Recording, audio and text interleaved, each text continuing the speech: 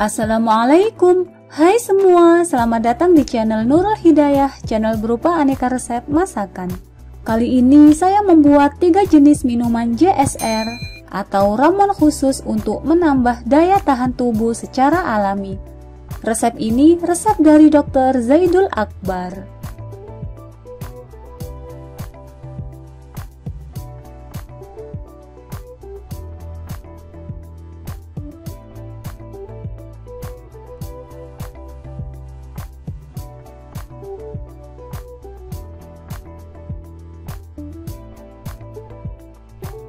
Yang ini bahan-bahan minuman JSR yang pertama untuk daya tahan tubuh. Untuk bahan-bahannya menggunakan bahan-bahan alami.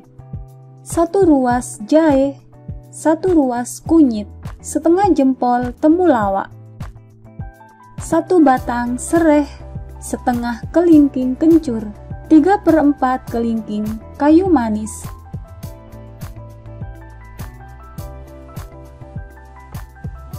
setengah buah jeruk nipis lokal.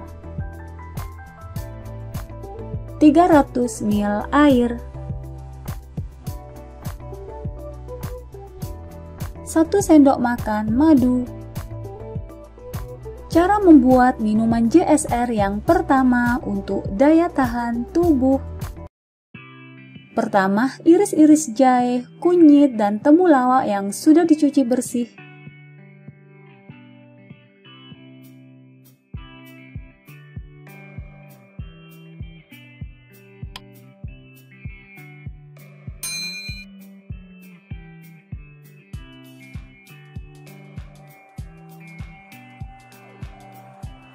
geprek serai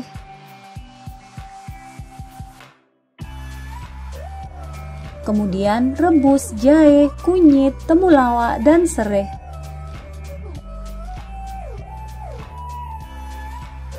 Rebus hingga mengeluarkan aroma.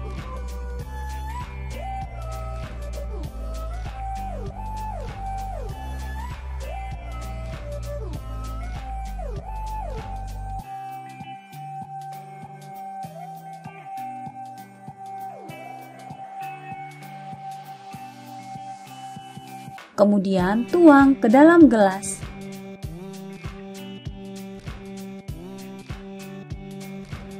Tunggu hingga hangat.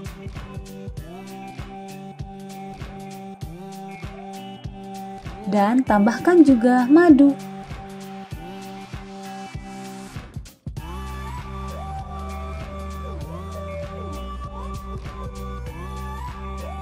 Jika sudah hangat, beri perasan air jeruk nipis.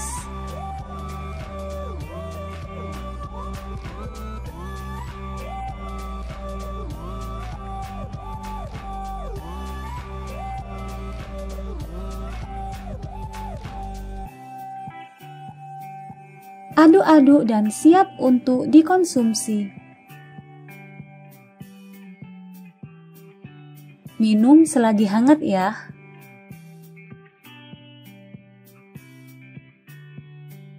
Yang ini bahan-bahan untuk resep yang kedua minuman JSR untuk daya tahan tubuh. Untuk bahan-bahannya ialah 2 ruas kunyit, 2 ruas jahe, setengah buah jeruk nipis lokal, seujung sendok garam non rafinasi, 1 sendok makan madu, 300 ml air.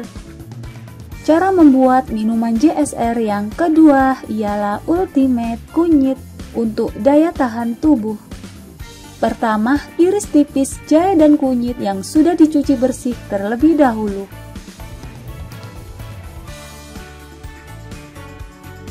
Kemudian rebus kedua bahan.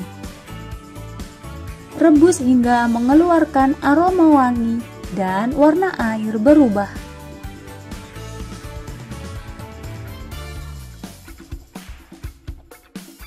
Lalu tuang ke dalam gelas. Tunggu hingga hangat ya.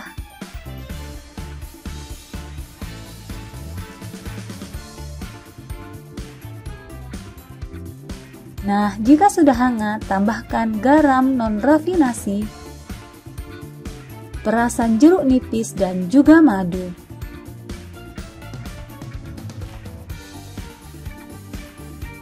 Aduk rata.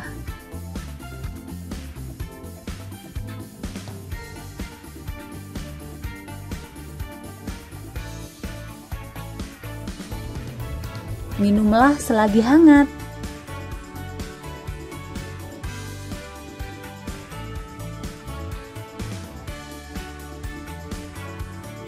Ramuan ini selain untuk daya tahan tubuh, ramuan ini juga untuk memperbaiki sistem pencernaan dan menguatkan tulang. Yang ini bahan-bahan minuman JSR yang ketiga. Untuk resep ketiga ini simple banget. Untuk bahan-bahannya satu buah jeruk nipis lokal dan madu secukupnya. Cara membuat minuman JSR yang ketiga untuk daya tahan tubuh. Pertama, peras jeruk nipis lokal.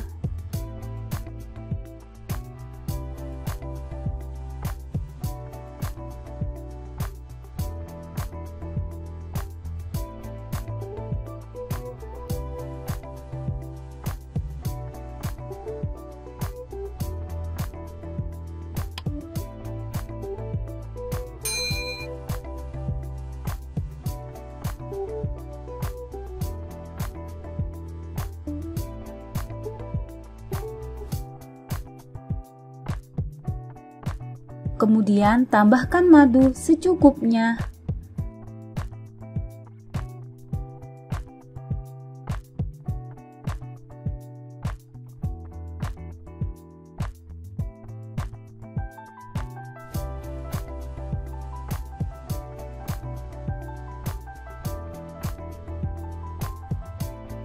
Aduk hingga rata.